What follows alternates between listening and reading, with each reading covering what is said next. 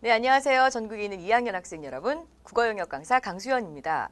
2학년 과정이 벌써 중반을 지나고 있습니다. 여러분은 얼마만큼의 실력 그리고 성적 향상을 이루고 있습니까? 3학년 학생들은요, 이제 엊그제 여러분과 같은 날 치러진 6월 평가원 모의고사에 사실 마음속에 많이 괴로움을 안고 있는데요. 왜 그러냐 하면 재수생과 고3의 실력 차이가 많이 벌어졌기 때문입니다. A형, B형의 난이도 차이도 있다라고 하고 있는데 그 가운데에서도 공부를 한 해 더 했느냐 아니냐에 따른 차이가 많이 보인다는 거죠. 선생님은 아침부터 오늘 재수생들 수업을 하면서요. 사실 공부 잘하는 아이들이 많이 몰려있는 학원인데 매가요. 거기에서 이제 해설 강의해 주느라고 좀 많이 힘들었는데요. 학생들 점수를 알아봤더니 어, 6월 모의평가에 한 반에 만점자들이 정말 많이 나왔습니다. 그래서 좀 만면에 음? 이렇게 미소를 띄우면서 재수생 메리트가 나타난 거야 라고 얘기를 했어요. 재수생의 장점이 뭘까? 고3들보다 훨씬 나은 점, 어떤 영역에서 가장 점수 차이가 컸을까를 비교해 보니까요. 아무래도 문법 영역이었어요. 여러분이 공부를 해보시면 알겠지만 문법 영역은 갈수록 비중이 커지고 있고 그런데 한 번 공부를 제대로 하고 나면 다음번 문제가 계속 유사한 내용을 묻기 때문에 아주 정답률을 높이면서도 쉽게 빠른 속도로 문제를 풀 수 있단 말이죠. 반면 이 문법 영역이 취약한 학생은 이게 뭐지? 이제 와서 문제 이해하고 보기 내용 파악하고 예시를 통해서 보기 내용의 어떤 감을 얻고 선택지를 비교 분석하고 게다가 아직 정확하지 않은 거야 라는 심리적 불안감의 요인까지 덧붙여져서 정답률도 떨어지게 되는 이런 문제. 결과적으로 빠른 시간 안에 정확하게 답을 얻느냐? 그리고 오래 걸렸지만 틀리느냐 이런 큰 차이가 벌어지게 되는데요. 또 한 가지 이 문법 영역의 문제점은 주로 문제들이 전반부에 있기 때문에 한 문제를 틀리고 나면 그 문제의 어떤 불안한 잔상이 다음 문제까지 연계되면서 두 번째 문법 문제를 풀 때도 아, 찜찜해 아까 거 틀린 것 같은데 이런 기분이 남는다는 거죠. 이렇게 이 기분이 잔존하는 기분이 다음 문제까지 연쇄적으로 넘어가다 보면 결국 오늘 시험 망한 것 같아 와 같은 기분으로 후반부 문제를 풀 풀게 되니까 몰입도를 떨어뜨리게 합니다. 국어 시험의 몰입도가 떨어져서 불안감을 가지고 시험을 봤다라고 하면 아무래도 그 효과는 역시 2교시, 3교시로 넘어갈 수밖에 없죠. 우리가 좀 굵직굵직한, 굵직굵직한 시험이라고 하는 이런 3월, 6월, 9월 평, 이런 모의고사, 평가에서도 이럴진데 여러분이 이게 만약 수능 시험이었다면 어땠을까요? 그 불안감의 파급, 그 부, 부정적인 영향, 은 어땠을까 생각해 보세요. 생각만 해도 끔찍하죠. 선생님이 모두의 이런 얘기를 하는 것 이제 감 잡으셨을 겁니다. 2학년 실력 쌓았어요 라고 얘기했는데 중반 보니까 서둘러서 여러분들이 미흡한 부분은 어느 영역인지 찾아서 공부를 해야 하는 것은 당연하고요. 특히 고3과 재수생의 격차를 모두에 말씀드린 이유는 여러분이 내년에 고3이 되어서 재수생한테 밀려서는 안 되겠죠. 가장 공부하기 어렵고 오래 걸린다고 하는 문법. 하지만 알면 나의 든든한 자신감이 될 수 있는 문법에 대한 대비를 철저히 해두시기를 바란다는 얘기입니다. A형과 B형으로 나뉘어져 있지만 B형 걸 선택해서 공부한다고 해도 A형도 반드시 풀어보셔서 내가 푸는 문제 수준하고 얼마나 격차가 벌어지는지도 알아두시면 좋습니다. 왜냐하면 B형으로 풀다가 등급이 너무 안 나오는 학생들 아, 나는 그래도 공부 잘한다는 문과여서 비형을 풀었는데 7, 8, 9등급 나와 인서울 못한단 말이죠. 그렇다면 자연스럽게 여러분들의 이 입시 전략이라고 하는 것은 성적에 맞춰서 연동해서 변할 수밖에 없고 A형으로 갈아타기를 해야 할 거란 말이에요. 그럼 A형으로의 선택을 했을 경우에 유불리는 어느 정도일까? 내가 과연 A형에서도 장점을 나타낼 수 있을까에 대한 고려까지 함께 되어야 되기 때문에 사실 이 과목은 B형 A형 격차가 크게 벌어진다고 하는 영어에서 심각하게 고려해야 될 문제거든요. 어, 공부 부담은 커질 수 있을지 모르겠지만 양쪽을 모두 헤아리는 그런 현명한 자세도 갖춰야 한다. 물론 세부 문제풀이, 개념, 그리고 각각에 대한 내가 독해력 높이는 건 당연하고요. 자, 선생님하고 이제 세부적인 문제풀이로 들어가 볼 겁니다. 1번부터 21번 전반부였는데요. 아, 이제 토론 문제 좀 익숙해져야 될 텐데 어떡하나.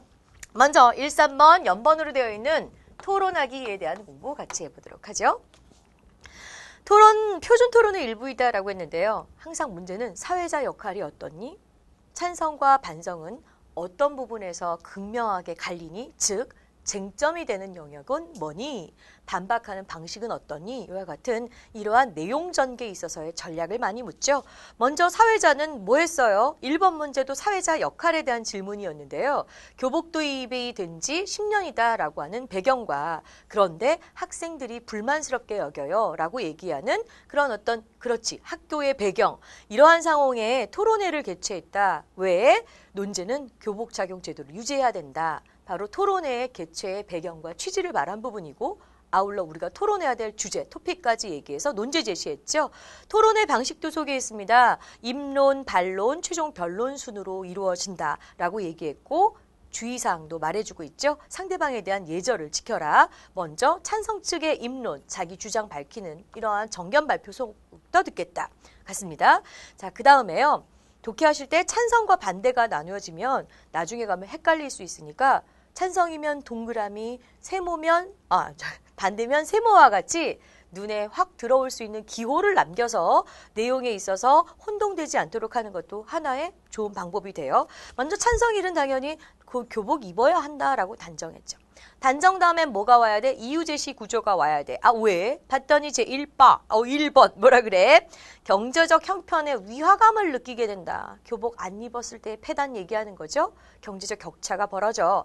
이 때문에 사람들은 교복을 더 좋아한다. 위화감 해소할 수 있다. 1번이야. 또한 이라고 하는 것으로 이제 바로 내용이 두 번째 근거가 제시되죠.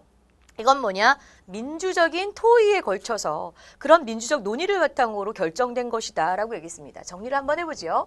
찬성 측의 입장에서는 교복을 입자, 유지하자 쪽이었고요. 반드시 근거가 제시돼야 되는데 근거 몇 가지 들었어요? 두 가지 들었습니다. 먼저 계층적 경제적인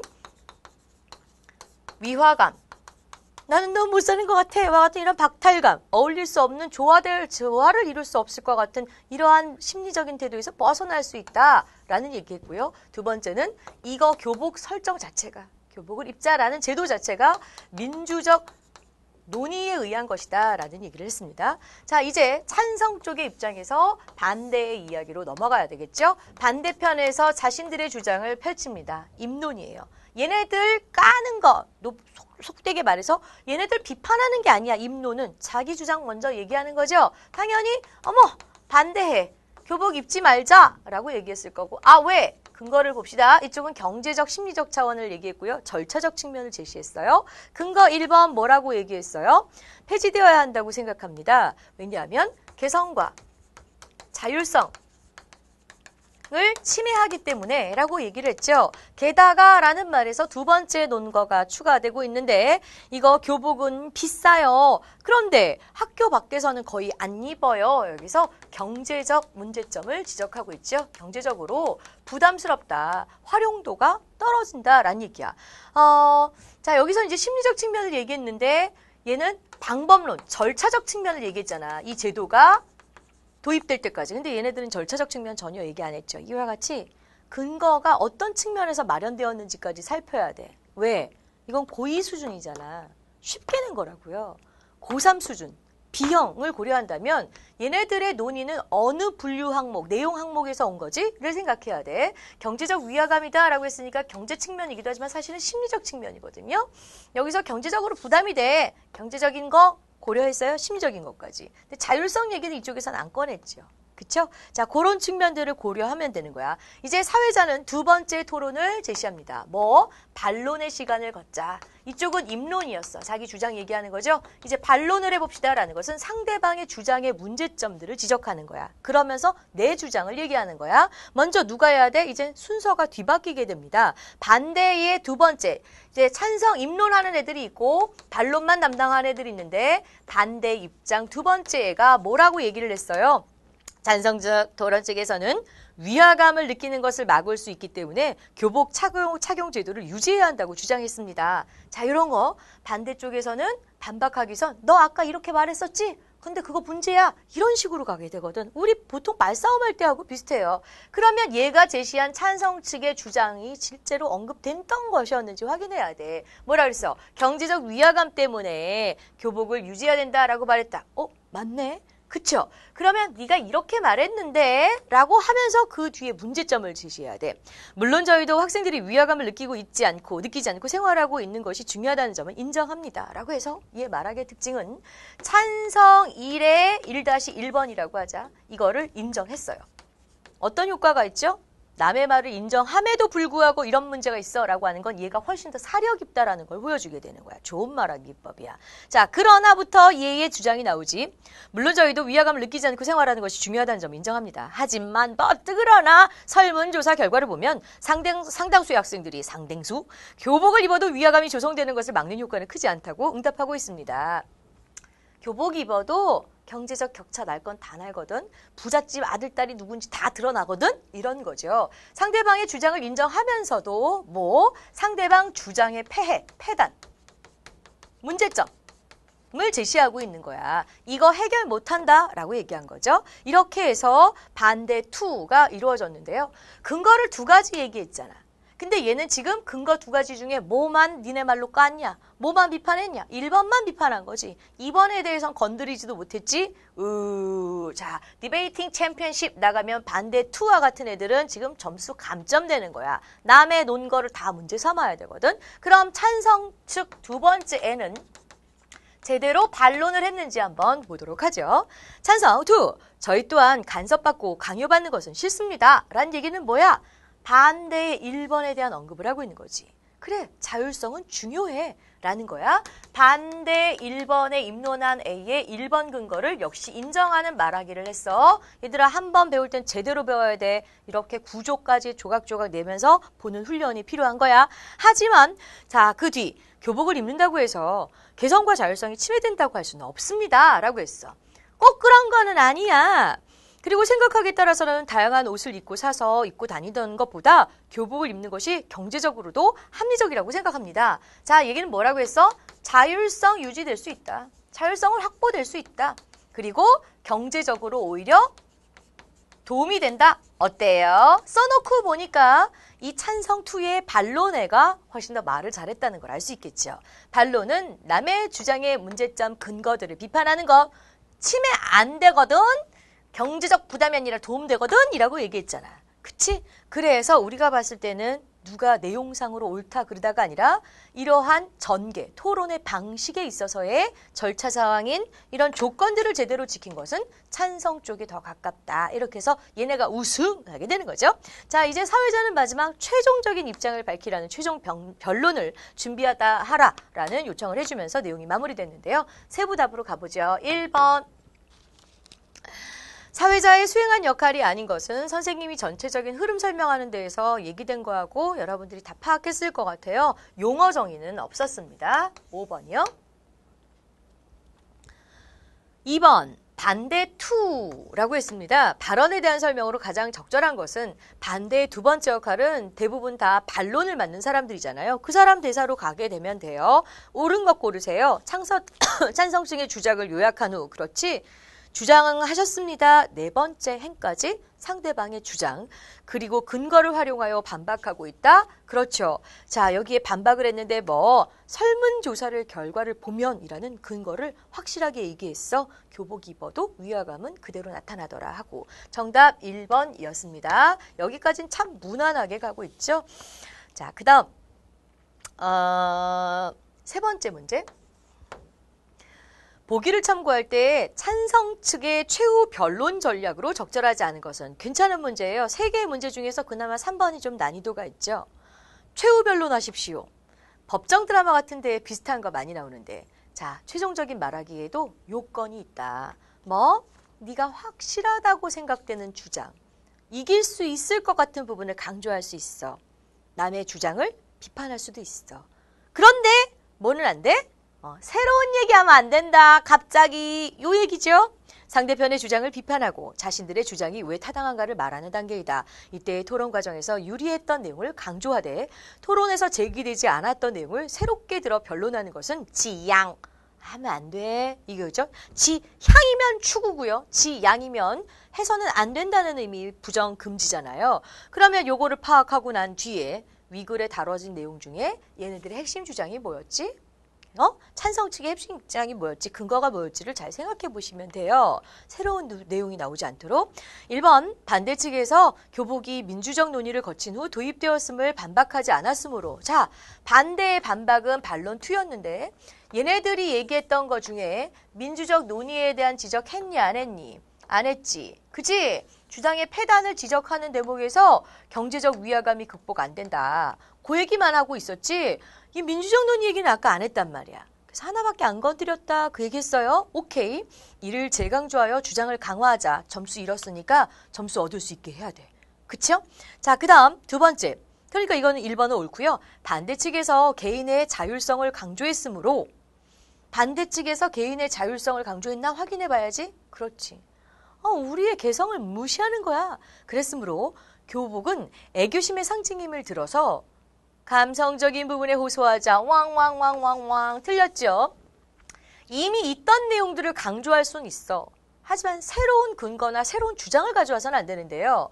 지금 찬성 측의 근거에서 삼았던 것들 중에 애교심, 학교 사랑, 감성 얘기 전혀 언급 안 됐던 거죠. 따라서 지금 최종 변론 마지막 조건에 위배되는 것이었습니다. 나머지 내용들은 여러분들이 아까 얘기했던 거 지금 절차처럼 반대 측에서 이런 내용 말했나 안 했나 하나하나 비교 대조하시면 될 수 있습니다. 4번 같은 경우에도요. 확실히 이제 너무 내용이 딱 맞아서 알 수 있었을 거고요. 3번 반대 측에서 학생들의 위화감이 학생들이 위화감을 느끼지 않고 생활하는 것이 중요하다는 것을 인정했으나 인정했죠. 그렇습니다. 당신들의 말은 인정합니다라고 했어. 현실적인 대안을 제시하지 못했음을 지적하자.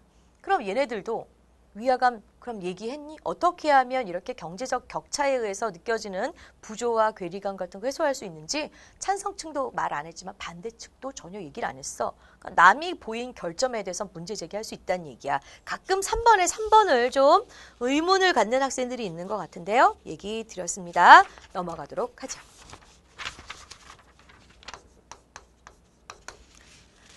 자, 4번과 5번 인터뷰 내용에 있는 화법에 대한 질문이었습니다. 우리는 의사소통을 특히 구어를 이 입의 말로 하게 되면서 여러 가지 언어 외에도 비언어적인 표현, 반언어적인 표현들, 언어의 부수된 표현이라고 하는 걸 사용하게 되는데 맥락을 이해하나?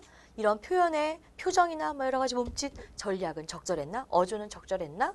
그 발언은 어떤 효과를 가졌지? 와 같은 말한 것의 영향력과 의도, 방식들을 따지는 것이 화법이었습니다. 인터뷰 내용이 나오고 있는데요. 처음에 선 진행자가 인터뷰 처음이시라고요. 라고 김현정 선수 소개하니까 떨린다고 말했죠. 그 원문자 기업 윗줄 친 부분 위주로 봅시다. 뒤에 문제에서도 얘기하니까. 자, 진행자가요. 원문자 기억 바로 위에서 떨릴 때 물 마셔. 효과 있어. 라고 얘기를 해요. 저같이 전문적으로 인터뷰 진행하는 사람들도 할 때마다 떨려서 쉼없돼요. 물도 마셔요. 라고 얘기를 했어. 자기 경험 소개하니까 원문자 기억에서 아 인터뷰 진행 많이 하신 분 말씀이니 믿고 해보겠습니다. 경험적 전문성이 설득력을 갖는다는 거 알 수 있을 거고요. 진정된다라고 금제 간사하게 맞네요. 이러죠. 자, 진행자가 인터뷰를 본격적으로 시작하면다라고 하면서 은퇴해 기자회견에서의 특이한 행동을 얘기를 했고 눈물 말리는 일이었네요. 라고 네, 기억해요. 선수가 고마웠어요. 개인적 감사. 그때 심정을 궁금해한다. 잠시 눈을 감고 고개를 숙인다. 이거는 언어가 아니지만 이 사람이 깊은 생각에 잠겼구나 하는 의미를 전달할 수 있는 거죠. 원문자 니은 아, 진행자가 표정을 보니 많이 힘드신 것 같은데요. 라고 얘기했어요. 그렇단 얘기는 얘의 표정이 선수의 표정이 말은 안 해도 말하지 않아도 알아 많은 감정을 드러냈다는 얘기겠죠. 비언어적 표현으로 어, 비언어적 표현으로 의사소통 자기의 내면을 드러냈다. 근데 진행자는 그것을 캐치했다. 알아차렸다. 그래서 많이 힘들었구나. 라고 자기가 이해했음을, 공감했음을 제시했다. 그랬더니 선수 어쩌어쩌 하더라고요. 막 그러면서 이제 신봉이라는 어려운 말을 했어요. 정말 무거운 거를 들어 올리느라고 너무 역기를 들어 올리느라고 여자가 힘들었는데요. 저희는 말 대신 신봉을 들어 올린다고 하거든요. 그러니까 진행자가 갑자기 아 신봉은 신봉이요? 신봉이란 게 모르는 전문 용어가 나온 거잖아. 특정 분야 직업 용어가 나온 건 문화적으로 사람들의 삶의 환경이 다를 때 의사소통이 장애가 될 수 있음을 보여주는 거예요. 그러니까 선수가 아 신봉은요 이러이러한 거예요 하면서 엽기의 손잡이 부분이다라고 뜻을 얘기해줬고 진행자가 그러냐라고 납득했고 수많은 사람이 너의 은퇴 이후의 계획에 대해서 궁금해한다라고 해서 사람들 즉 시청자의 호기심도 충족해줬죠. 그리고 나서 진행자가 이제 뭐 꿈나무를 키울 거다 선수가 얘기하니까 구체적 새 계획까지 세웠어. 그것을 보니 선수의 성격이 얼마나 꼼꼼한지 알겠네요. 계획을 가지고 유추적으로 그 사람의 성격, 내면까지도 추측해내고 있는 말하기였습니다. 자, 말씀도 잘하시네요. 라고 해서 칭찬, 격려까지 해줬고요. 선수, 아유, 그래도 분위기 있는 찻집이라 그런지 마음이 차분해져서 하고 싶은 말 다 했어요. 라고 해서 역시 편안하게 자기의 진술을 얘기했습니다. 야, 자, 네 번째 문제 답을 찾아가 봅시다. 인터뷰 기억 미음에서 알 수 있는 내용이 아닌 것은 그래서 아까 지적했듯이 선수의 대답을 봤더니요. 어, 많이 한 사람 말이라 믿을 수 있겠어와 같은 내용. 화자의 경험이 경험 및 전문성이 청자가 받아들이는 내용의 신뢰도에 영향을 주는 요소임을 알 수 있다. 말하는 사람이 얼마나 전문적이냐. 그걸 가지고 듣는 사람이 받아들일래, 안 받아들일래가 결정된다는 거야. 여기에서 화자는 바로 진행자였던 거고 수용자, 청자는 선수였던 거죠. 1번 딩동댕, 니은, 표정. 표정은 말이 아니다. 언어가 있고 말과 관련된 목소리. 어떤 목소리 음색을 쓰느냐도 의사소통에 관련되죠. 뭐님 이거하고 마님 이거하고 다르잖아. 그치? 목소리 아 좋아요. 이런 말투하고 어 좋은데 다르잖아요. 그래서 알고 있을 거예요. 이렇게 음성과 관련된 건 반쯤은 언어다라고 해서 절반 반자를 써서 반언어적인 표현이라고 합니다. 하지만 표정, 옷차림, 행동, 몸짓은 제스처 이것들 다 의사소통에 관여되긴 하는데 극적극적 부끄러움 알지? 아, 손살의 거부 이런 거 그렇지만 언어는 아니다 해서 비언어적 표현이라고 하는 거죠. 자, 이거 기본이야. 비언어적 표현의 이해가 의사소통에 도움이 될 수 있음을 알 수 있다. 표정 힘든 것 같은데? 라고 얘기함으로써 상대방의 비언어적 표현에 공감을 자아내서 다음 화제로까지 자연스럽게 넘어갔으니까. 디귿 설명했죠? 직업 전문 용어인 신봉을 못 알아들었어요. 특정 사회적 문화적 배경 안에 있는 언어들은 이해하는데 영향을 미칠 수 있구나. 어렵죠. 그 다음 네 번째. 리을 구두 언어를 통해 화자의 사회에 대한 인식이 전달됨을 알 수 있다. 구두 언어, 입으로 말하는 걸 통해서 말하는 사람 화자의 세상에 대한 인식, 사회를 어떻게 판단하는 거야. 근데 원문자 리을은 네가 말한 걸 보니까 네 성격도 알겠다잖아. 사회에 대한 인식이 아니죠. 네 번째가 틀린 것이었습니다. 자, 공간적 상황이 메시지 전달에 기여할 수 있다. 조용한 곳이어서 떨리지 않았다라는 진술 확인되죠. 다음 5번. 인터뷰를 바탕으로 수업 자료를 제시했는데요. 학생들이 내린 평가 중에 옳지 않은 것을 골라보래요. 제대로 말했나? 상호작용 잘했나? 인터뷰한 사람의 평가를 하는 거야. 자, 그러면 심, 친밀도를 고려했는가? 먼저 상대방과 공유할 수 있는 사건 제시했죠. 얼마 전에 마지막 인, 은퇴 인터뷰. 그때 은퇴 기자회견에서 내가 봤다. 눈물 많이 흘려서 손수건 내가 건네지 않았냐 했으니까 아 기억나요. 감사했어요. 공유되는 사건이죠. 2번 B 상황의 공식성을 고려했는가? 이게 공식적인 자리라는 걸 생각하고 얘기 나누고 있나 이 얘긴데요. 대중들이 시청하는 담화이므로 맞네. 텔레비전인데 상대방의 직업에 관련된 질문만 하였다. 직업에 관련된 것과만 얘기했나요? 아니요. 지금 이후 어떻냐, 성격이 어떻냐 얘기까지 했었잖아. 그리고 신봉이 뭐야? 물론 이건 직업 관련 용어라고 할 수도 있긴 하겠지만 성격적인 건 반드시 직업적인 거라고 얘기할 수는 없겠죠. 그래서 2번 말하기 어울리는 태도, 적극적으로 공감하는 거 있었고 시청자가 알고 싶어 할 만한 내용을 선정해서 질문하였다라고 하는 거 앞으로의 계획에 대한 거 그랬습니다. 자, 다음 6번 문제. 퇴고 과정에서 나타난 변화 양상을 알고 있는지 문제 있는데요. 이런 거 독해, 기본 비문학 독해 능력이 떨어지는 친구들은 힘겨워했을 수도 있을 것 같아요. 원문을 작성했다 볼 수 없는 거 힌트 줄게. 이런 원문과 요약문 문제 있잖아. 이럴 때 비교를 할 때는요. 원문을요. 지시어나 접속어를 중심으로 내용을 분할하는 것이 가장 기본이에요. 자, 여기 하다가 또한 따라서, 그러므로 이런 말들 나오면 세모 표시를 한번 해봐. 그럼 이쪽과 이쪽에 내용이 같거나 다르거나 화제가 바뀌었거나가 금세 눈에 들어와. 그래서 내용상 원문이 크게 몇 개의 세부 정보로 되어 있는지 그걸 나눠보시고 순서도 중요해. 요약문으로 가면서 이쪽에 순서, 내용이 유지되고 있는지를 보셔야 돼요. 여기서 크게 내용상 세 종류를 말을 했는데 이쪽 요약문에 가서는 세 종류가 그대로 세 종류가 아니라 네 종류가 됐다거나 그러면 잘못된 글이라는 거야. 또는 두 종류로 줄어버렸다라고 얘기해도 이건 문제야. 내용이라고 하면 큰 화제들 말하는 거다. 그리고 내용의 전개 순서가 뒤바뀌어도 요약문에서는 어 이거 문제가 될 수 있는데 이란 말이야. 그러면 원문 비교 대조 원문의 분석을 잘해야 되는데 어디까지 내용이 끊어질까요? 여러분 문장이 길면 주어와 서술어를 잘라보세요. 미세조류는 첫 번째 줄 이러이러한 것으로 불린다. 두 번째 줄 미세조류를 높은 밀도로 배양하여 역시 미세조류 얘기지. 그리고 뭐 마지막에 바이오 디젤을 얻을 수 있다. 그러면 이건 효과네. 이름, 효과. 자, 그 다음 최근 국내 연구에서 미세조류에 관한 연구가 급속히 늘고 있다. 라고 했어. 국내 연구 늘고 있다. 연구 현황. 그 다음 미세조류는부터 해서 마지막에 환경 친화적인 특성을 지닌다. 그리고 라고 해서 지금 첨가 관계야. 그러니까 여기선 자르면 안 돼. 같은 내용이야. 그리고 미세조류로 만든 바이오 디젤은 띠디딩 마지막 친환경적인 특성을 특성이 있다. 자, 그러면 여기까지 내용이 하나 끊어진다는 걸 알 수 있을 것 같아요. 뒤에서 달라지죠? 여기까지 미세조류의 개념, 연구 활발, 미세조류는 친환경적이야 라는 걸 예시를 말했어.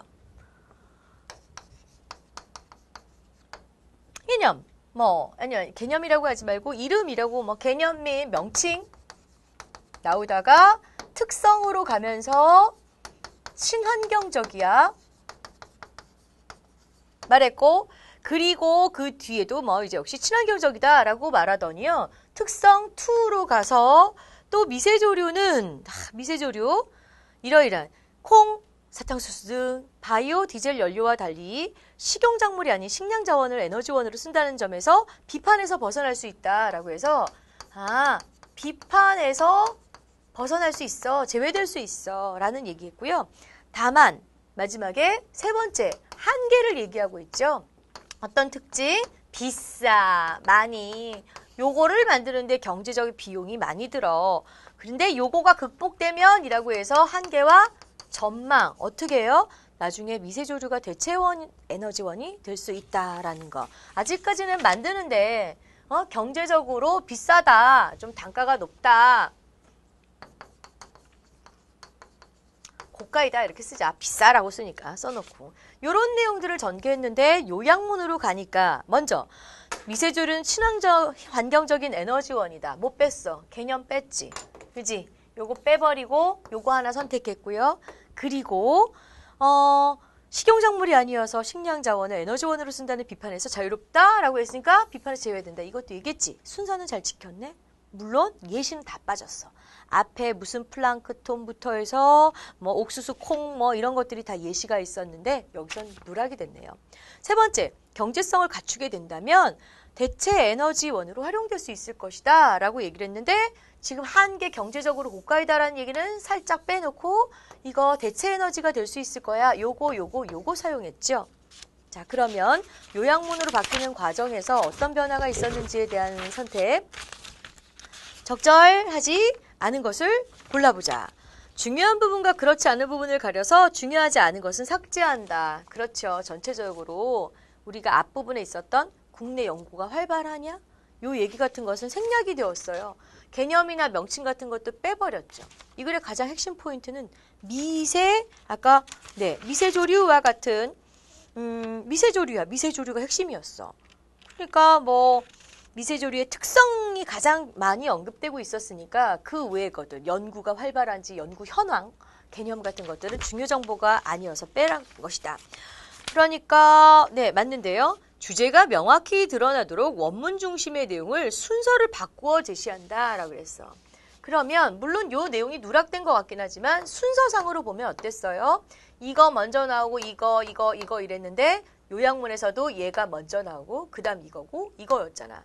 큰 순서의 흐름은 바뀌었어 안 바뀌었어? 안 바뀌었죠. 그래서 요거 문제 좀 헷갈렸어요 하는 친구들이 있는데 6번의 정답은 2번으로 가는 겁니다. 원문에 사용된 문장을 그대로 가져가지 않고 자기 말로 바꾸어 쓴다라고 해서 네.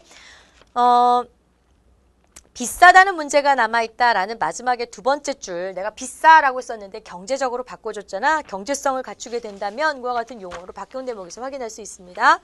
연결함이야 접속어를 활용하여 앞뒤 문장을 긴밀하게 연결한다. 그렇지. 앞에서는 너무 접속 이런 것들이 많았는데 내용상 이거가 있고 이런 문제점이 있지만 요 문제점이 있지만 요게 개선된다면 그러므로 더 좋아질 거야. 그러니까 여기가 최종적인 결론이 될 수 있고 여기가 이제 바로 근거가 될 수 있게 내용을 꾸민 것이어서 얘도 적절하죠. 얘가 3점짜리 문제였던가 그렇죠? 배점이 좀, 아, 2점이었구나. 2점이었는데 여러분 어땠을까요?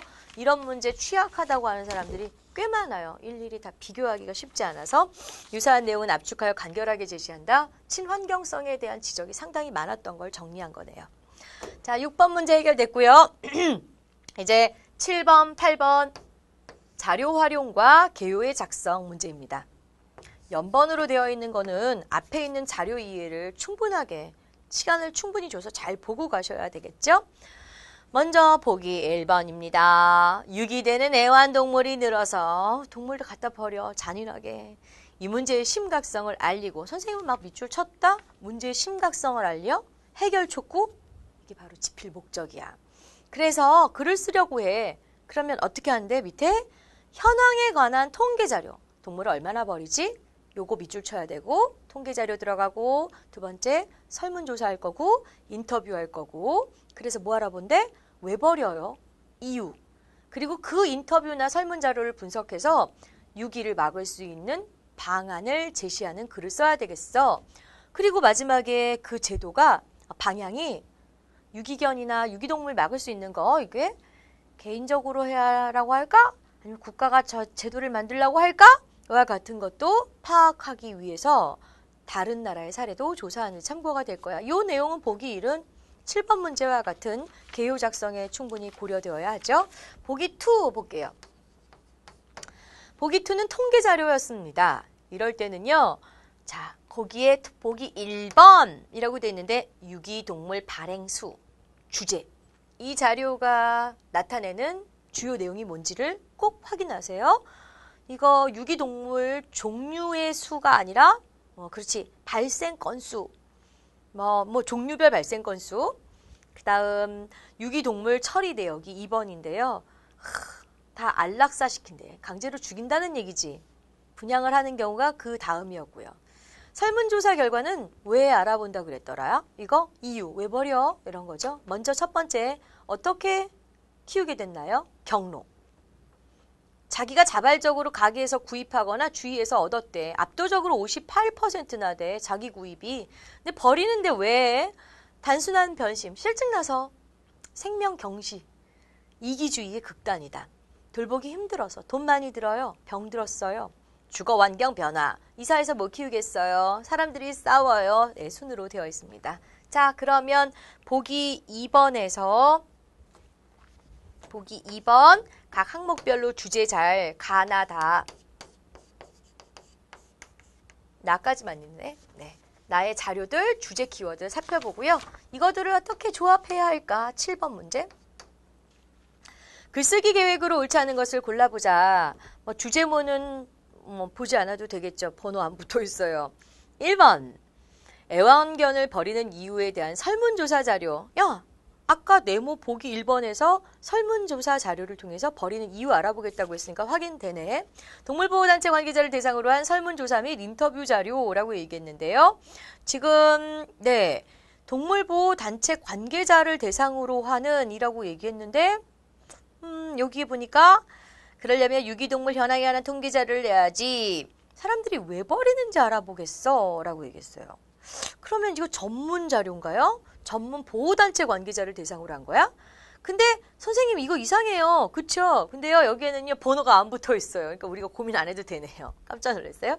동물 유기 제도를 실시하는 외국의 사례 보기 1번 박스 마지막에 언급돼 있던 거고 3번도 실태를 바탕으로 논의의 필요성을 밝힌다. 당연하지. 현황. 얼마나 지금 그런 문제가 나타나지? 실태. 서론이 담당해야 될 거죠. 4번. 본론에서 얘기할 거 애완동물을 기르는데 필요한 사회적 비용에 관한 문제 제기를 한다. 언급 전혀 안 했다. 애완동물 들어가는데 얼마나 기르는데 돈이 많이 들어갈까요? 또는 사회적으로 필요한 구체적 물질적인 어떤 돈 말고도 여러 가지 시스템 면에서 뭐가 필요할까요? 이런 걸 얘기하는 게 사회적 비용인데요. 전혀 보기 1, 2에서 언급된 내용이 아닙니다. 차라리 애완동물 유기로 인한 사회적 문제점 제기 이렇게 가야 되겠죠. 7번에 4번, 8번 문제. 보기 2에 대한 활용으로 적절한 걸 고르세요. 아까 얘기했잖아. 세부 자료가 나오면 거기에 주제 키워드를 확인하라고.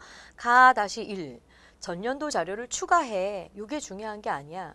유사한 자료는 자료가 더 포개지면 내용의 더 정확도 그리고 설명력을 높여. 그러니까 그 자료 추가가 중요한 게 아니라 그 뒤에 있는 내용의 주제가 제대로 1번을 설명하고 있는가를 보시면 돼요. 유기동물이 늘어나는 문제의 심각성이 드러나도록 한다. 라고 했어. 하나를 더 덧붙이면 심각성은 더 높아지겠지. 근데 주제가 뭐야? 유기동물이 늘어난다. 라는 얘기잖아요. 가의 일은. 그렇네. 지금 이미 2011년 자료가 있는데 똑같은 자료를 하나 더 추가해서 정말 많이 버린다. 매년 매년 쌓여간다고 생각해봐. 이걸 제시한다는 거 적절한 자료 활용이었어요. 2번 2다시 가의 2를 논거로 활용할 때는 유기동물의 종류를 밝혀야 한다라고 했는데 2다시 가는 마지막 처리 결과잖아. 근데 안락사시킨다 분양 방법의 문제점이 어느 게 비중이 더 큰지만 얘기하면 되지 어느 동물별 거기에 처리 방법 차이점 이건 그럼 동물마다 대우가 다르다는 얘기를 할 때 쓰이는 거니까 무관한 내용입니다. 3번 나다시 2에서 버리는 이유에서 주거 환경 변화를 제외한 나머지 항목들은 제도적 요인이다. 야, 단순 변심이 제도냐? 국가에서 만든 시스템이야? 탈락. 일 나와 나의 일. 나의 일과 나의 이. 선후 관계를 바꿔서 의미를 해석해야 돼? 그럼 순서상 뭐야? 먼저 구입하고 기르다가 나중에 버리는 거잖아. 왜 버렸어요? 근데 왜 키우게 된 거예요? 이러면 이거는 오히려 순서가 제대로 드러나지 않는다. 키우다가 버린 이유 자체가 뒤에 놓여야 되겠어요.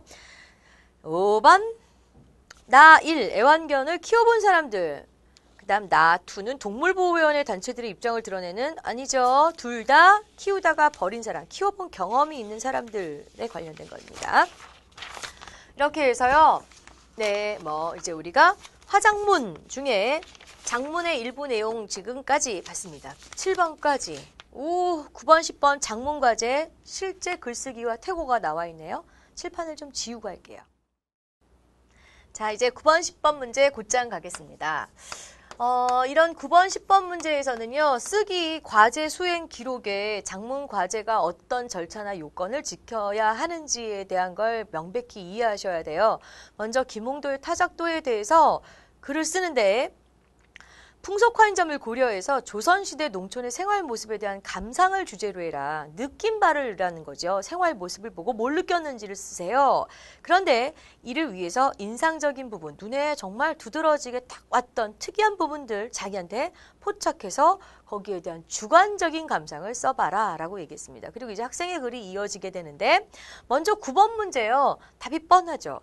글쓰기의 주요한 전략으로 가장 적절한 것은 학생이 글을 쓴 내용도 읽어보긴 해야 됩니다. 그런데 과제 수요, 수행 기록에서 수행 절차를 얘기했잖아요. 어느 부분이 특이하고 거기에 대해서 뭘 느꼈는지를 써라 라고 얘기했어.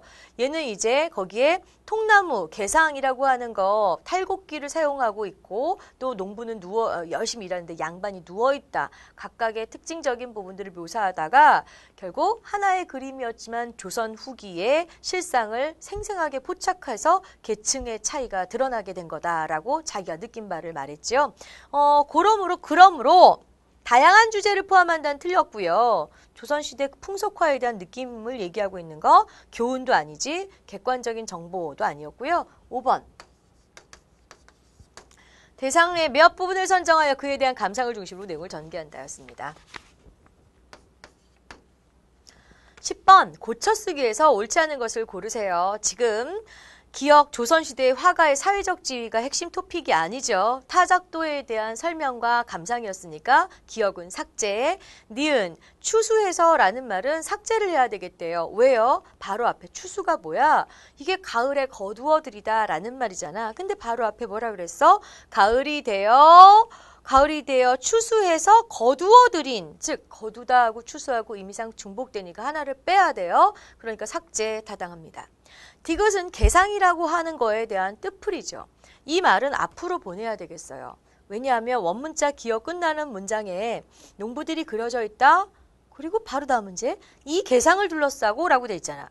그러니까 이라는 말 때문에 이미 앞부분에선 개상에 대한 언급이 있어야 되는 거지. 어순도치가 필요해요. 그 다음 리을. 오른쪽 위에는 술병을 앞에서 두고서 아니죠. 어디 어디에서는 처소부사격이라는 걸로요. 명백하게 장소를 얘기해야 돼. 근데 술병을 그렇지. 공간 어디 어디 장소 물론 장소인 것 같지만 이럴 때는 우리가 굳이 생각하지 않아도 앞에 두고라고 얘기하지. 어떤 행위가 이루어지는 장소. 학교에서 저 학교에서 축구했어. 학교에서 배웠어. 라고 얘기하지. 학교에 배웠어. 라고는 안 하죠. 출발, 근원, 음? 낙착 이런 것이 올 때는 어, 그러니까 출발점 그런 어떤 출발에서의 의미의 처소일 경우에는 에서를 쓰고요. 단순, 단순히 어디 어디에 놓여 있다의 개념일 때는 에만 쓰시면 됩니다. 그래서 에로 바꾼다 좋아요. 그런데 5번에 내용을 자연스럽게 이어주지 못한다는 지적은 맞는데 왜냐하면 원문자 미음 미음으로는 최종적인 결론이잖아. 그렇기 때문에 이 5보다는 자 양반이 얄밉게도 보이기도 하고 게을러 보이기도 한다. 그래서 여기는 차라리 그렇기 때문에 뭐 이렇게도 되고 따라서 이렇게와 같은 말이 낫겠죠. 이 때문에로 바꾼다? 원인이고 결과야? 아니다. 음. 그래서 김홍도는 이처럼 작가 김홍도는 한자 한 장의 그림 속에 뭐 생생하게 그려내고 있다처럼 이 때문에보다는 이와 같이 이처럼과 같은 전체 내용을 지시해 주는 말이 좋겠습니다. 5번. 다음은 어법. 자, 문법이라고 여러분들이 아까 얘기했던 제가 강조해드렸던 부분이에요. 표준 발음 규정입니다. 대표음 얘기가 24망에 있지요. 24망에 받침은 제음가대로 안 나고 쌍기역, 키읔, 기역, 시오, 리을, 기역 이거는 기역으로 읽어. 당연하지. 우리 이거 읽을 때 dark, RK로 읽습니까? 달이라고 있습니까? 아니죠. 겹받침이 있어도 반드시 대표음은 하나야. 그래서 기억의 소리가 날 수 있는 여러 자음들 나왔고 그리고 디귿으로 읽힐 수 있는 거 시옷부터 티읕까지 그 다음 비읍으로 읽힐 수 있는 거 피읍부터 비읍 시옷까지. 요거 뒤 요것은 이렇게 읽히고 대표음으로 읽히고 플러스 얘네들 뒤에. 가다 봐 가다 봐. 요거 뒤에서 오는 가다 보세 가다 보자. 이런 애들이 오게 되면 얘네들은 어떻게? 된소리로 읽어라. 발음할 때 까따 빠짜 싸하 까따 빠싸짜로 읽으세요. 이거죠? 자첫 번째. 그래서 예시를 봤더니 국 더하기 밥이야. 근데 얘를 어떻게 읽어? 국 밥으로 읽으란 말이지 아, 알겠어, 알겠어, 알겠어. 여기 기억 다음에 여기 가다 보세, 가다 보자. 요거 왔으면 얘를 까따 파싸자로 읽으라고 했으니까 된소리 되기라고 하죠. 자, 그 다음 24항의 규정은 어떻게 됩니까? 어간의 받침. 어간이 뭐더라? 동사 형용사에 안 바뀌는 부분, 고정된 부분을 어간이라고 하죠. 그런데 어간의 받침이 니은, 니은, 지읒도 대표음은 니은이죠. 미음. 이런 거 뒤에 결합되는 어미의 초소리가 얘네들 뒤에 니은이나 미음. 얘네들 뒤에 리을 미음도 마찬가지야 여기. 리을 미음 써놨고 얘네들 뒤에 가다. 비읍 빼고요. 시오지읒 살자. 이런 것들은 된소리로 발음한다. 아 이거는 이게 이제 까따 싸짜. 왜. 얘로 난다 그래서 원리를 여러분 나는 지금 써줬지만 해설 강의 해주느라고 너네는 읽으면서 하나하나 예시를 보고 대응시켜 보는 거야. 앉다, 앉아! 라고 하는 말에 여기다가 고를 넣었어. 그럼 얘도 읽으면 안 따가 되죠. 니은으로 시작, 니은 지읒 뒤에 읽었으니까 요거를 읽어. 고가 와도 안 꼬로 읽어라야. 동사의 어감 부분의 받침이 니은 또는 니은 지읒이니까 더듬지 할 때 미음 찌. 다만 어, 예외 없는 규칙은 없죠. 피동이나 사동 접사의 기. 시키거나 당하거나를 나타내는 기 다음에는 된소리로 발음하지 않는다. 안다에 이거 니은이야. 근데 기억이 왔어. 어? 니은 다음에 기억이면 아까 안고라고 해서 된소리를 읽으라고 했는데 이거를 안기다라고 읽으면 안 된단 말이야. 왜? 얘가 안기다? 아, 당연, 당했나? 시켰나? 이거 뭐예요, 여기에? 나는 그 얘기 안 겼어. 네. 여기에서 피동 접사, 감기다. 이것도 사동 접사이다. 피종 접사도 다 되는데 머리를 감게 했다. 또는 그렇게 감김을 당했다. 이렇게. 그래서 지금 사동, 피동, 접사가 들어있으면 아무리 니은이나 미음이 와도 끼 소리 내지 말라는 얘기죠. 그러면 이러한 항목에 해당하는 거냐? 앞에 받침 봐라, 뒤에 이어지는 거 봐라, 발음될 수 있는지 봐라. 요런 거 하나하나 예시 자 적용해 보는 거야. 1번, 덮개는 덮개인가요? 덮개인가요? 해명할 수 있어요? 없어요? 있죠. 덮할 때 피읍 받침은 아까 대표음 비읍, 10, 여기 23항에 있는 비읍하고 관련된 거잖아. 그리고 그거 뒤에 기억이 오는 케이스잖아. 읽으면 물론 깨로 읽어야 되겠죠. 얘는 설명 가능합니다. 갈등은 갈등이 아니라 왜 갈등인가요? 그러면 리을 더하기 디귿이 쌍디귿으로 읽히는 경우를 찾아야 되는데 우리가 봤던 24항과 24항 조건에는 리을과 관련된 규정이 있냐 없냐? 없지. 그치? 그래서 해당하는 사례 가 아닙니다. 위의 규정에서 벗어나는 설명할 수 없는 예시가 되겠어요. 11번에 2번이죠. 낯설다 같은 경우에는 얘가 낯 할 때 받침이 디귿으로 읽히는 경우지.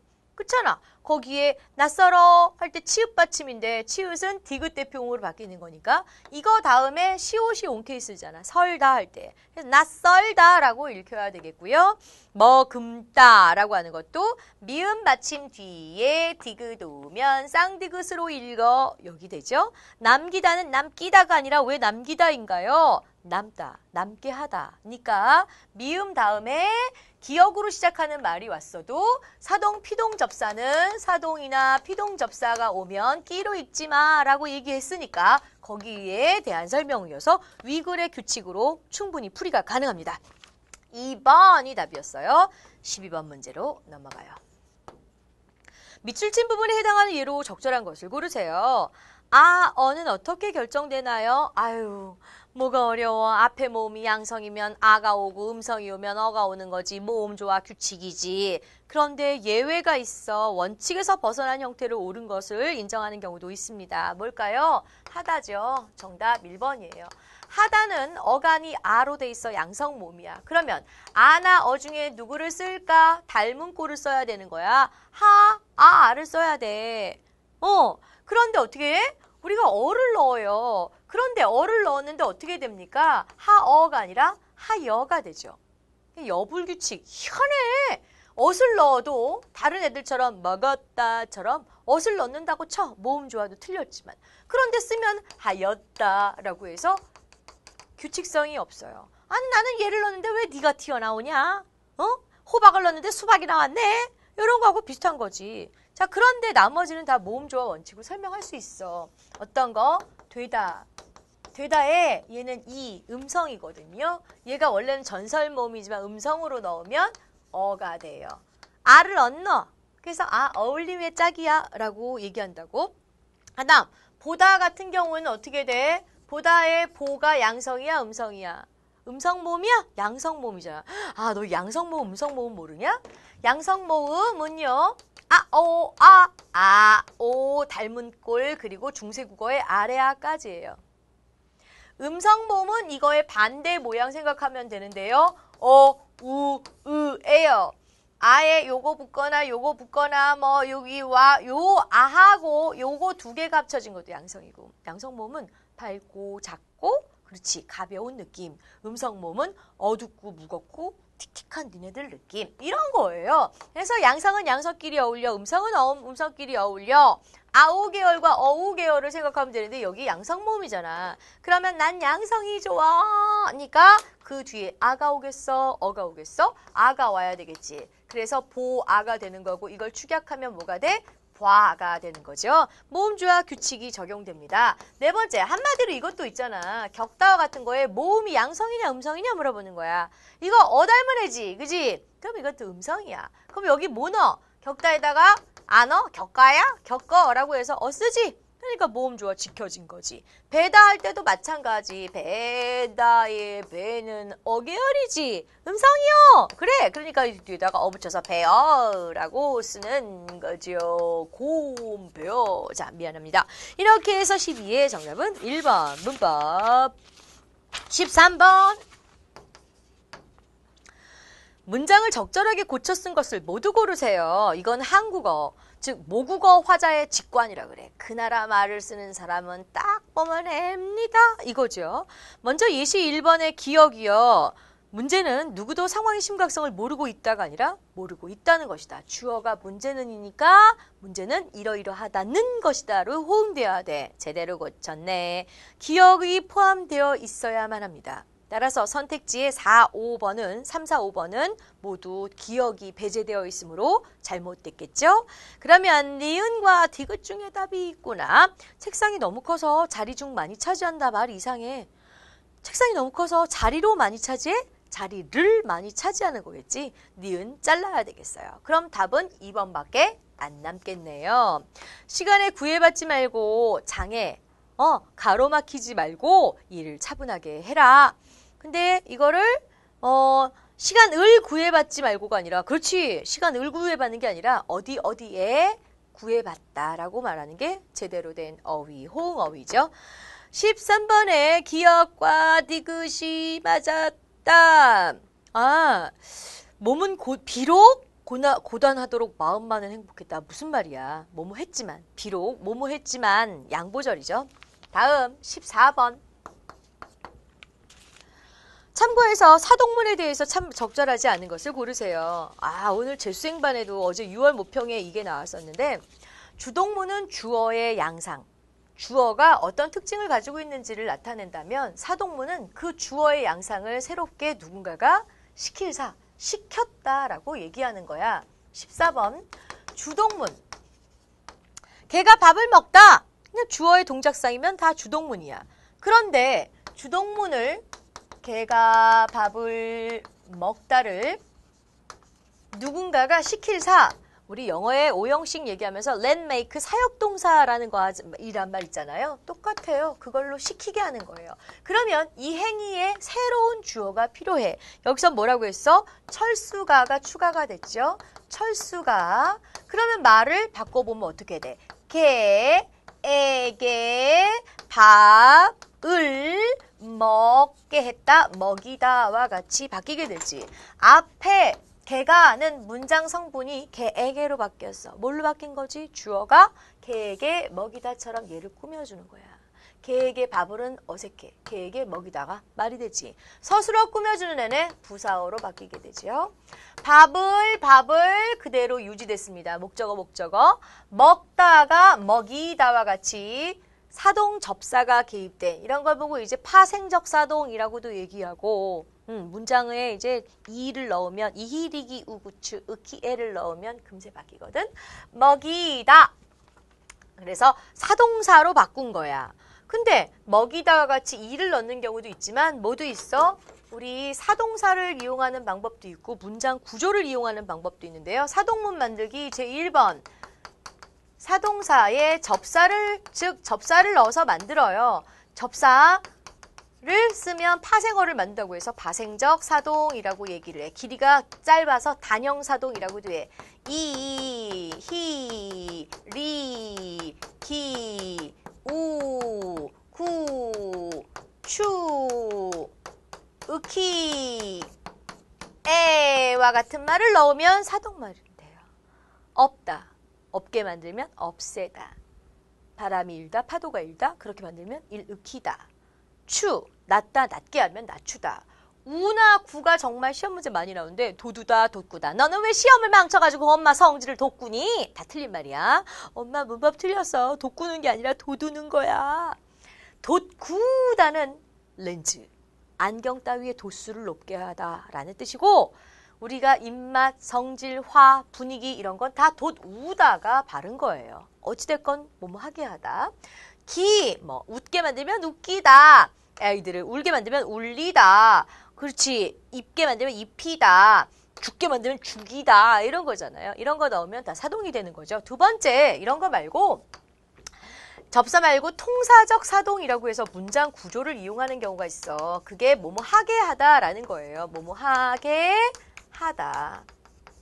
세 번째, 어휘적 사동. 단어 자체가 시킨다의 의미를 가지고 있는 거예요. 그게 바로 시키다예요.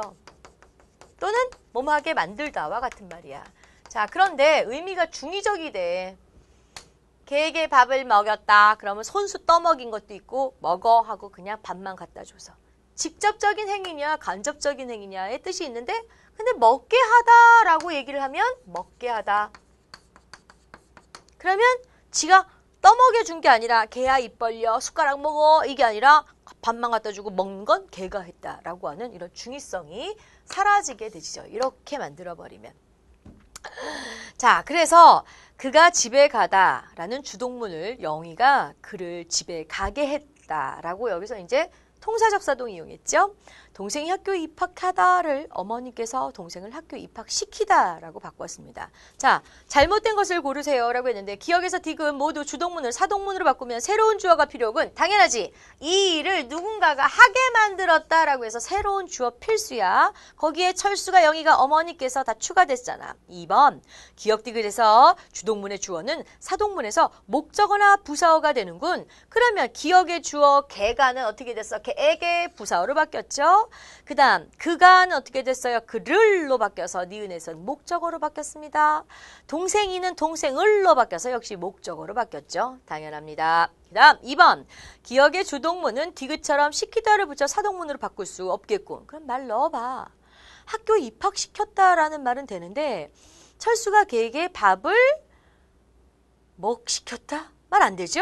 안 됩니다. 자, 그러니까 1, 2, 3은 모두 적당한, 정당한 지적이고 원문자 니은 4번 니은의 주동문을 그가 집에 가다를 사동문으로 바꾸면 집에 가는 주체가 달라지는군.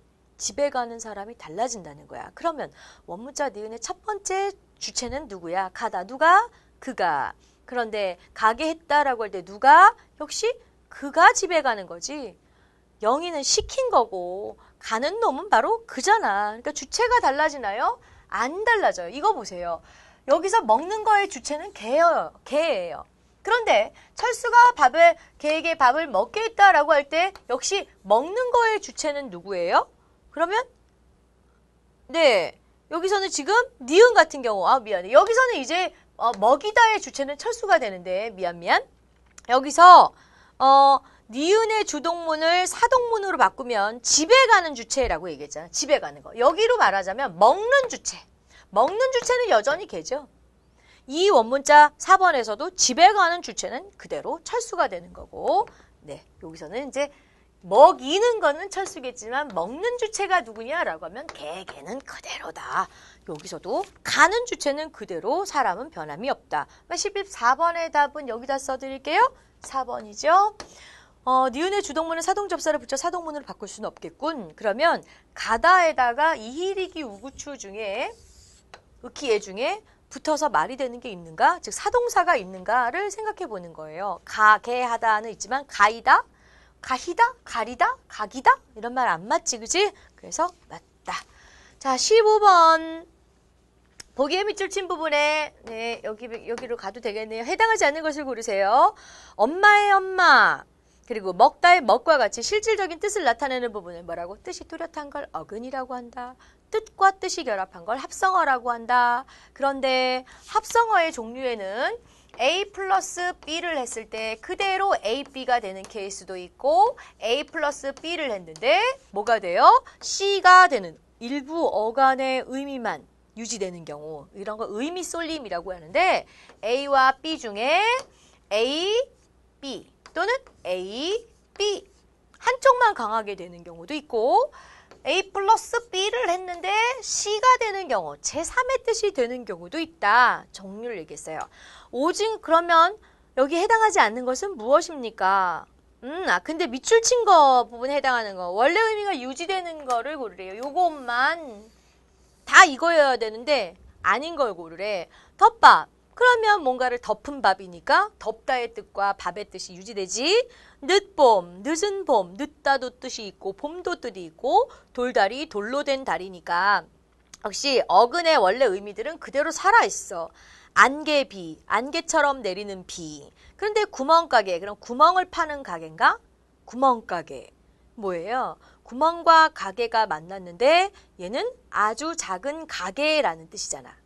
그치? 그러면 아주 작은 가게니까 가게라는 뜻은 그대로 있는데 앞에 구멍이라는 의미는 다른 뜻으로 바뀐 거지. 따라서 밑줄 바로 뒤에 일부 어근의 의미만 유지되는 경우에 해당하는 것이어서 5번의 답이 5번이 돼요.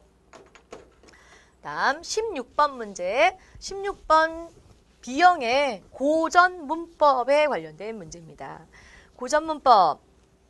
음, 두보의 시 중에 강촌의 일부가 나와 있죠. 말간가라한 고비 이런 거 다 해석 굳이 요거 하나하나 다 물고 없이 현대어 풀이하고 비교 대조하면 되는데 말간이 맑은으로 바뀌었고 가람은 강이고요. 말간 가라 한 고비 하나의 구불구불 구비가 마자랄 안아 흐르나니 마을을 안고 흐르나니 이렇게 뜻풀이 보란 말이야. 학생이 정리를 했대. 1번 말간 가람 띄어쓰기 하지 않았음. 그래 다 띄어쓰기가 없었어. 띄어쓰기가 된 거는 어, 우리 1896년에 와서 그러니까 독립신문 창간사에서 처음으로 이게 시도가 되게 되죠. 1번 맞고 마잘 현대국어에서 사용하지 않는 자음과 모음이 표기됐다. 아래아 마 할 때 아래아하고 반치음 오늘날 쓰이지 않는다는 거 얘기한 거고요. 아나 이것은 3번은 밑에 해석 봤더니 안, 안돼. 고어로 어떻게 썼어? 아나라고 썼으니까 연철 표기한 거네. 소리 나는 대로 한 거. 긴 여름 방점이 표시된 글자가 있었음. 글자의 왼쪽에 소리의 높낮이를 표시한 거 방점. 오케이. 근데 정답이 5번이었는데 저 B가 뭐라고 해석됐어요? 현대국어에 와서 부등호 방향은 이가 더 고어, 옛날 말이다라는 뜻이에요. 이게 제비라고 해석이 되잖아요. 형태가 달라졌죠. 형태가 달라졌는데 뜻은 뜻은 이건 똑같은 거야. 거기에서도 제비가 날고 있다. 오늘날 국어와 현대국어 형태는 비슷하지만 그래 비슷은 해. 좀 달라졌지? 의미가 다른 어휘가 있음. 의미가 달라? 아니요. 옛날에도 저비가 swallow 제비였고 오늘날 얘도 swallow야. 완전히 다른 뜻이 아닌 거야. 그래서 답은 5번. 의미도 유지되고 형태만 약간 달라진 케이스다. 의미가 전혀 다르다라고 해서 잘못이다. 자 이렇게 해서 앞부분 문법까지 모두 끝내고 비문학 지문 두 개, 다섯 문제 남겨두고 있습니다. 네, 이 정도 수준의 비문학만 나오면 계속 풀만 하겠죠? 17, 18번 문제 두 문제. 먼저 첫 번째 단락에서는 뭐라고 돼 있어? 김장과 이완의 교차 연속으로 삶이 이루어져 있다라고 얘기했는데 우리 생에 대한 이야기를 했나 봤더니 밑에 악보가 나와 있는 거에서도 짐작하겠지만 첫 번째 단락에서는 음악에 있어서도 이렇게 다양한 방식을 통해서 긴장감도 느끼게 하고 그것이 풀려주는 이완을 느끼게 하는 방법들이 있다라고 해서 이것은 사람들에게 친숙감뿐만 아니라 예술적 감동을 준다라고 얘기했어요. 이것의 긴장과 음악에서의 긴장과 이완 그리고 그 효용에 대한 이야기를 처음에 단락에서 제시하고 두 번째 단락에서 시작하는 말에 대표적인 긴장과 이완의 방식을 한번 알아보자라고 했어요. 그리고 세 번째 단락에서 첫 번째 그 이완과 긴장의 방법에 선율에 있어서의 상승과 하강에 대해서 말을 하고 있죠. 올라가는 대목에서는 사람들 야 흔히 맞지 않냐? 누가 노래 부르는데 높은 부분을 올라가면 올라가서 우리도 바짝 긴장하잖아. 왜? 어, 제 삑살이 나는 거 아니야? 음이탈 이런 거 걱정하죠. 그래서 여기는 긴장이 되다가 따라라라라라라 내려오면 절자가 미쳤냐? 네. 밤이 되니까 그래요. 제 뇌에도 이완이 많이 됐나 봐요. 이렇게 음이 내려올수록 편안해진다라고 얘기했고요. 그러다가 세 번째 단락 끝나서 네 번째 단락에서는 이 바로 긴장과 이완을 만들어주는 두 번째 방법 리듬의 변화. 리듬의 변화를 준다.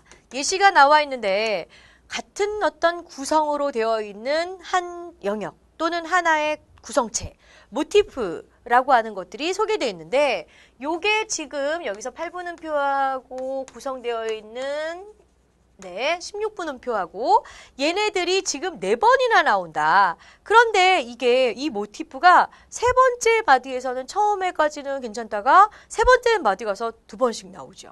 더 많아졌죠. 그래서 촘촘하게 이 모티프의 반복, 반복이 여러 번, 촘촘하게 밀도 있게 하게 되면 가속이 붙어서 너무 많이 나오니까 가속이 나와서 긴장된 느낌을 준다. 낮은 음표 자리 부분에도요, 궁작작작이라고 하는 것이 예를 들었는데, 궁이 두 번, 앞부분에선 두 번밖에 안 나왔지만, 마디 하나당 하나씩 해서, 세 번째 마디에서는, 아까 이 모티프가 두 번씩 반복되어 온 것과 마찬가지로, 낮은 음자리표에서도 궁, 궁, 궁짝, 궁짝, 궁짝, 궁짝 이렇게 해서 여기가 다시 반복을 통해 긴장을 준다. 하지만 네 번째 마디 마지막에선 다시 궁짝짝짝으로 가서 처음으로 되돌아간 것 같다. 이완된다 라고 얘기했어요.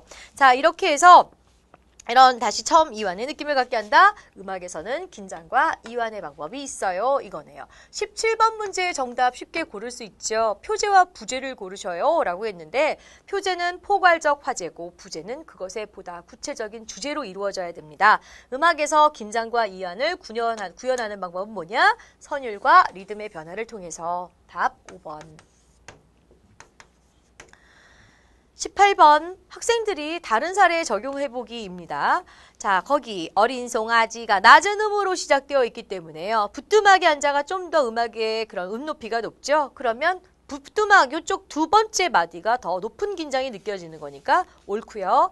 첫째 줄을 부를 때 선율로 인한 긴장을 가장 크게 느낀다라고 했으니까 가장 첫 번째 쭉 그 악보에서 제일 높은 음이다라는 얘기인데 울고 있어요 할 때 제일 높잖아. 3번 두 번째 첫 줄 마디에 그러니까 엄마 하는 거 엄마에서 마로 진행할 때에는 긴장이 크대요. 그래요? 엄마에서 하이픈으로 되어 있는 대목은 음이 떨어지잖아요. 엄마, 엄마 떨어지는 거죠. 음 높이가 낮아지면 하강하면 이완된다라고 했는데 반대로 긴장이 커진다고 했으니까 얘가 부당한 진술입니다. 엄마를 부를 때 갑자기 높아진 엄에서 선율의 긴장을 가장 강하게 느낄 수 있어라고 했는데요. 두 번째 줄 두 번째 마디 그렇죠. 여기 두 번 다 엄마 엄마. 엉덩이가 뜨거워는 다시 내려가고 있으니까 이완을 경험한다. 선생님하고 해결할 수 있는 마지막 지문입니다. 19에서 21. 아, 인문제제, 철학제제가 나와서 좀 걱정이 됐나요? 어, 근데 충분히 이해할 수 있을 정도, 고1도 풀 수 있을 것 같은 그런 내용이었어요. 첫 번째 형식 단락에서는 마지막이 중요한데, 마침 글자의 활자를 진하고 굵게 처리해줘서 여러분들이 이해하도록, 화제 잘 찾도록 했죠. 뭐, 시간의 경과를 보여주는 건 시계야. 그런데 그 시간, 우리가 공유하는, 함께하는 시간, 생활의 편의를 위해서 구획된 객관적이고 물리적 시간이야. 공유하는 시간은 이것은 누구나 다 아는 객관적, 물리적 시간이다. 선생님 오늘 녹화하러 오는데 8시까지 왔어야 해요, 저녁에. 그래, 그때 8시, 9시, 10시 이렇게 우리가 알고 있는 나눠진 시간들이 다 객관적, 물리적 시간이에요. 그런데 하지만에서 두 번째 형식 단락 벌써 대조라는 것이 딱 느껴지죠. 지시어 접속어 표시하면서 보세요. 자, 그런데 시계로 측정된 물리적 시간은 어떤 단락의 첫 번째 주어는 윗단락의 핵심어, 어떤 단락의 첫 번째 문장의 주어는 윗단락의 핵심어를 가져오는 거야. 그래서 단락의 첫머리만 보고도 윗단락의 주제가 뭔지 금세 알 수 있어. 아, 주어가 물리적 시간은으로 가고 있어. 물리적 시간은 그래. 우리의 경험의 질적 차이를 구별해 주지 못한다. 물리적 시간의 한계. 경험이 다르다. 경험이 달라. 경험의 질적 차이를 구별해 주지 못해. 선생님이 오늘 오는데요. 아치죠. 저녁에 그러니까 양지메가라는 데에서 고3 수업, 재수생반 수업을 마치고 6시쯤 떠났는데요. 우와, 연휴라고도 그러기도 했지만 금요일 저녁 시간이어서 그런지 엄청 엄청 밀려서요. 옆에 제자애를 태우고 오는데 제자애도 힘들고 나도 힘들고 물론 어, 선생님하고 걔하고 재미있는 얘기들을 막 하고 오느라고 시간을 그렇게 많이 못 느꼈어요. 근데 얼마나 걸렸지 봤더니 보통 1시간 정도에서 1시간 20분이면 도착할 수 있는데 본사까지. 그런데 글쎄 2시간이 훨씬 넘게 걸린 거예요. 선생님이 9시도 넘어서 9시 반 정도 돼서 도착했거든요. 그러니까 6시 10분에 따라서 9시 반에 도착했으니까 거의 2시간, 3시간 정도에 가깝게 어머 그랬네. 엄청 많이 올려 3시간 걸린 거예요. 그러니까 저 객관적 물리적 시간이 훨씬 많이 갔어. 그런데 선생님은 제자하고 수다를 떠느라고 그 시간이 그렇게 긴 줄 몰랐어. 그러니까 경험의 질적인 시간으로는 짧았던 시간이었던 거야.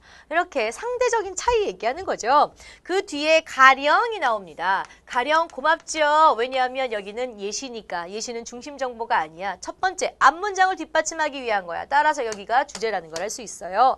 사랑하는 사람과의 데이트 시간 10시간인데 어머, 1시간인 줄 알았어. 벌써 시간이 이렇게 간 거야? 이렇게 되죠. 이처럼 다시 이처럼 이후에 요약 정리 들어갑니다. 두 번째 단락의 핵심 내용은 처음이자 마지막이요. 이처럼 시간의 경험과 인식은 개인의 문제임에도 불구하고 개인마다 다 다르게 느끼는데 공공장소에 걸린 시계는 마치 모든 사람이 다 똑같고 균일한 것처럼 인상을 준다. 개인의 시간은 개인적 시간이 달라요. 세 번째 단락에서 철학자 베르그송의 이름을 꺼내고 있습니다. 이 생철학자 메르그송의 이름이 나오고 있는데 전문가 권위자의 말이 언급되고 있기 때문에 글의 신뢰도가 높아지죠. 경험의 질적 차이를 구별해주지 못하는 물리적 시간. 요게 바로 위단락의 주제어가 되겠죠. 무엇 무엇은 어떤 단락의 주어까지는 윗단락의 주제다라고 얘기했잖아. 물리적 시간은 경험의 시간을 구별해주지 못해라고 그랬는데 그거 그대로 갖고 왔죠. 이렇게 우리의 진짜 개개인의 경험을 구별해주지 못하는 물리적인 시간은 진짜 시간이 아니다. 이건 진짜 시간이 아니야. 그럼 진짜 시간은 뭔데? 그것이 바로 볼드 처리되어 있는 활자가 굵게 되어 있는 의식의 시간이다 라고 이게 정말 중요한 거야 라고 말했대. 그리고 요것을 뭐라고 동일하게 지속이라고 말했다. 하면 새로운 개념어가 나왔어요. 그러면 이제 이게 또 무슨 뜻인데? 이건 말로 흐름이야. 흘러간다는 거야. 뜻풀이 계속되고 있죠. 그리고 이것을 비유했어요. 물. 물은 자를 수 없지 강을 칼로 잘라낼 수 없듯이 우리들의 의식 속에 있는 진짜 의미의 시간은 계속해서 잘라낼 수 없는 흘러가는 거야. 멈추지 않아. 그래서 네 번째 베르그송이 말한 흐름의 속성을 가진 시간은 이게 바로 이제 핵심 내용 아닙니까? 오늘 독해 팁 중요한 거 배웠다. 어떤 단락의 중심 문장을 찾고 싶으면 다음 단락의 첫머리의 주어부까지를 봐요. 어떤 단락의 첫 문장의 주어는 윗단락의 주제요. 흐름의 속성을 가진 시간은 바로 단절하고 있는 선이 아니라 바로 서로 침투하고 융합하는 것이다. 그래서 친구와 친구를 만났다라고 얘기하면 그냥 단지 이 시간에 딱 만났다가 아니라 나의 온갖 history와 얘의 history와 얘와 나와 함께 만났었던 history가 그 순간 다 합쳐지는 거다. 모든 시간과 시간 마치 머릿속에서 떠올려봐. 여기에 시간의 꼬리가 달려있다고. 그래서 이쪽 꼬리와 이쪽 꼬리가 같이 만나서 모든 시간이 여기서 다 합쳐지는 것처럼요. 그래서 융합되는 것이다. 마지막 5번 단락에 진정한 동일한 시간은 진정한 시간이 아니다. 의미 있는 개인만의 시간이 중요하다. 그러므로 이후에 우리의 시간 과연 얼마나 썼지 남았지? 그런 문제가 중요한 게 아니다. 양적 측면이 중요한 게 아니라 그거를 어떻게 질적으로 중요하게 어, 보냈는가 이런 게 어떻게 보내고 있지? 내용적 어떤 태도를 취했지 하는 문제가 중요한 것이다. 중요한 객관적 시간이 아니라 자기의 시간 침투되고 융합되는 의식적 시간의 필요성이었습니다. 19번 잘못된 것을 골라봅시다. 아이고 쉬워라. 개념에 대한 설명 마지막에 있었던 의식, 의식적 시간이 뭔지 객관적 물리적 시간은 뭔지에 대한 것을 확인되고요. 대조 방법도 역시 물리적 시간과 그 다음에 질적인 시간을 보여주는 의식적 시간 대조됐고요. 대상의 특성을 다른 것에 빗대었다. 흐르는 물에 비유되었던 거. 구체적 사례에서 애인 만났던 거. 놀이공통산 뭐 여기에서 10시간 그런 거. 그 다음 역사적 관점에서 이 대상의 변화 과정이면 통시적 고찰을 했다는 건데 전혀 언급 안 됐고요. 20번 문제요. 얘도 비유적인 거였지만 대조기 때문에요. 끊어져 있는 음들, 음으로만 바꿨지. 아까 분절된 것, 단절된 것은 뭐였어? 물리적 시간이었고 흐름으로 인식하자던 것이 바로 의식적 시간이다. 세 번째 형식 단락에서 말했네요. 1번. 마지막 21번 문제 A에 드러난 관점과 유사한 태도를 고르세요. A에서는요 이렇게 공공에 모두 다 공통으로 살고 있는 단지 객관적인 시간이 중요한 게 아니라고 말했죠. 개인의 삶의 태도와 내용, 질적인 측면이 중요하다. 시간의 주인으로 살아라 개인적인 측면을 강조했으니까 1번 속박과 억압에서 벗어나서 기억, 통과되어야 되고 나와 삶의 속도가 모두 다 똑같다고? 아니 상대적으로 다르게 경험한다라고 얘기했죠. 그것이 있음을 알 수 있어야 돼. 니은 디귿과 리을은 사회적 기준이 되는 시간을 준수해라. 그리고 10분초로 나누어라 이거였으니까 물리적인 객관적 시간에 대해서 더 큰 가치를 두는 관점이 되겠습니다. 1번이네요. 여러분 우리 공부는요 항상 좀 난이도 높게 어렵게 해봐야 된다라고 얘기합니다. 물론 기초 수준이 되어야지 되겠지만 그렇다고 목표를 그냥 아주 쉬운데 두기보다 좀 더 내가 더 발전할 거니까 라고 생각해서 거시적으로 먼 데까지 두시면 여러분 분명히 그만큼 성장하게 되어 있습니다. 흔하게 많이 말씀드렸지만 에베레스트를 넘어온 사람에게 우리나라의 산들은 비교적 쉽게 넘을 수 있는 어찌 보면 뒷동산은 특히 평지처럼 보일 겁니다. 하지만 평지만 경험한 사람은 에베레스트 앞에 결코 도전할 수 없습니다. 여러분들이 이 시험에서 사실 어렵지 않았던 B형이었지만 이 시험에서 어 나 잘 봤어 라고 안도 한다고 해서 무슨 의미가 있을까요? 이 시험 점수로 대학을 가십니까? 아니죠. 오히려 여러분에게 독약이 될 수 있다는 거 생각하시고 이것보다 더 어려워질 문제에 대비해서 또 누구나 다 많이 열심히 공부해서 실력 차이가 균등해지는 바로 고3 시점 그때를 생각하면서 분투하셔야 하겠습니다.